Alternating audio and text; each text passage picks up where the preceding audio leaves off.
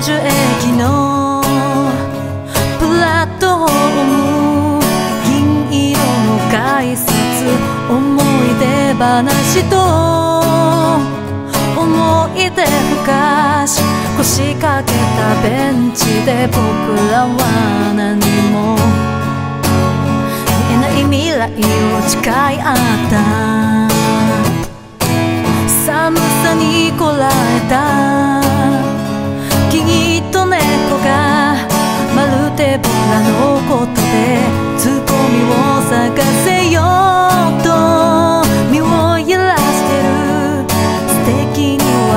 ている焦らないでいい。いつか花束になっておくれよ。それまで待っていてね。これからの展開を二人で。飽きるまで過ごして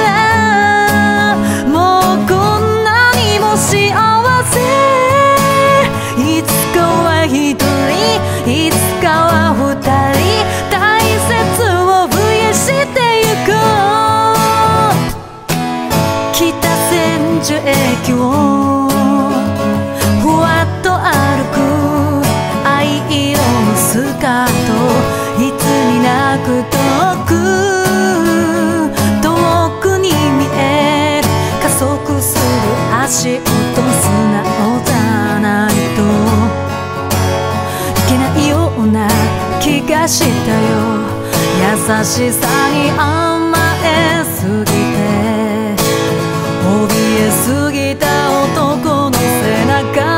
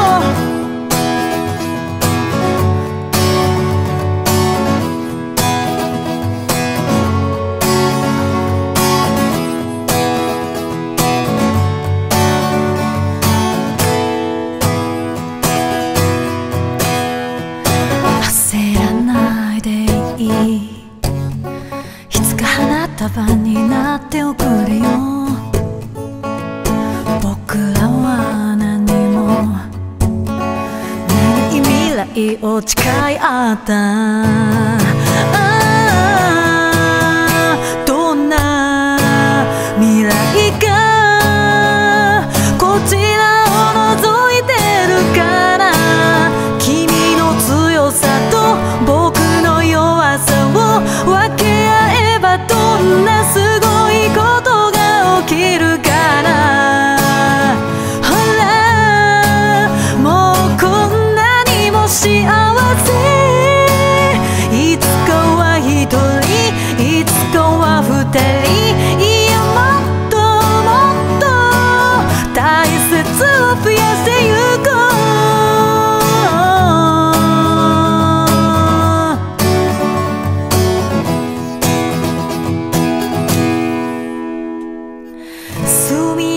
た駅のプラットホーム水色に挨拶。